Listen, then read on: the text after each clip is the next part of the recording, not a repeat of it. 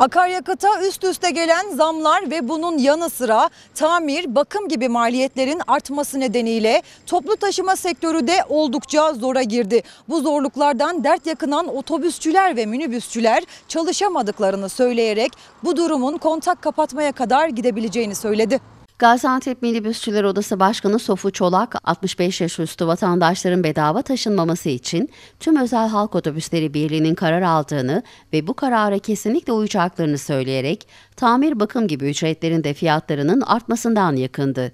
Gaziantep Minibüsçüler Odası Başkanı Sofu Çolak konuşmasına şu şekilde devam etti. E, dolara gelen zam onu etkili, mazota gelen zam bizi etkili, mazota gelen zam, dolara gelen zam lastik etkili, işçilik 11,5 kağıt. E 11,5 çalışmıyor adam dedi ki ben geçimimi sağlayamayayım bugün 5-6 kağıt en kötü bir evin kirası değil. Ben evimi geçindirmeyecek miyim diye. Bugün 16 kağıt biz şoförlere aylık verik. Bu 16 kağıdın sigorta primine iki şoför çalıştı 42-43 bin lira gibi böyle bir maliyeti var. E ya benim harcadığım yaktığım mazot, sanayiye gittim, harcadıklarımı topladım, hiçbir şey kalmıyor bize. Hiç zarar edik ya. Bir adam bu sene gelmiş o bir tanesi yemin ediyor, doğru söylüyor. 15 bin kağıt cebimden para koydum diyor. Ya ben 15 bin kağıt cebimden para koyup vatandaşa hizmet etmek zorunda mıyım diyor. Ben devlet miyim diye. Ya adama bir şey diyemezsin. İki takım lastiğin 100 bin TL. Biz bunu hayat, bir hesabımız bir arada görme şansı sıfır zaten.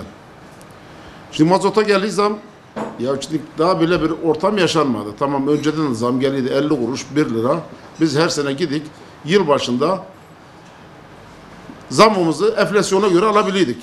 Ama şimdi ne enflasyonu yakalayabilik ne gelen mazotun zammını yakalayabilik. E ben çalıştırayım para kazanamayayım. Ne yapayım bu sefer? Ben arabaya kaçırıyor adam. Çalışmazsam zarar etmeyeyim diye. Bugün parçaya zam gelmiş. Neden kaynaklanıyor? Dolardan kaynaklanıyor. Dolar yükseldiği an direktmen bizim arabalarımızın tüm parçaları yüzde doksanı belki kupası diyebilirim Türkiye'de yapılıyor. Onun haricinde tümü bir kısmı Alman, bir kısmı Amerikan. Bir euro, biri dolar. Bu direktmen bizi etkiliyor. Önceden biz parça alıyorduk, böyle, e, e, tamir ettiriydik. Veyahut da parçacıdan parça alıp arabamızın kırılan kopan yerini yaptırıyorduk. Şimdi parça aldığında adam parçayı borca yazmıyor. Parça olaraktan yazıyor. Yani TL olaraktan yazmıyor. Pa- do- Parça olaraktan yazıyor. En geç de bir hafta içerisinde.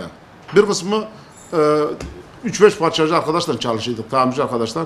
Peşin olmasa vermeyeceğim. Önceden mazotu indirimli alıyorduk. Mazotu e, yani az bir ufak bir indirim yapıyorlardı. Oradan alıyorduk. Şimdi adam diyor ki yok ben kesinlikle indirim de yapamam. iskonto yapamam. Ben peşin alırım. Kimseye de borca vermem. Adam haklı. Ben diye bedava çalışıp kime hizmet edeyim diye zararımı ben kime hizmet edeyim? Ben devlet miyim diye. Bak otta kapatacaklar. Biz önlerine geçmeye yapmayan arkadaşa işte aha bugün başkanımız yardım edecek. Aha bugün görüştük. Aha yarın görüşeceğiz şeklinde. Adam ben çalak. Şu an Adam kaçıyor zaten. Şimdi arabalarımızın bir kısmı yatıyor. Niye yatıyor? Para kazanamıyor yatıyor adam. Karar aldılar. Dediler ki 15 Ekim'e kadar çözülmezse Türkiye genelinde biz almayacağız dediler. Bize de siz de uyacaksınız diye bilgi geldi. Uyarız çünkü ge- sonuçta bir Antep için değil, ya da bir Ankara için değil, bir e, Kocaeli için değil. Bu Türkiye genelinde böyle bir kanayan yara. Herkes e, TOİK'un aldığı kararı kesinlikle uyacağız. Esnafımız bu konuda e, bize hem e, sorduklarında önerileri bu hem de doğrusu olan da o uyacağız. Yani bir fırıncıya gitse günlük ekmek verirse verir mi?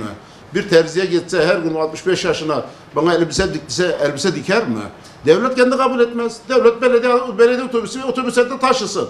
Başımız gözümüzde. Rekabet kuruluna aykırı ama tamam taşısın. Sıkıntı değil bizim için. Yani onu da görüyor. E bilekine belediye de bugün ben serbestleri taşıyayım mesela Kocaeli'nde şeyde Eskişehir'de bu e, gündeme geldi.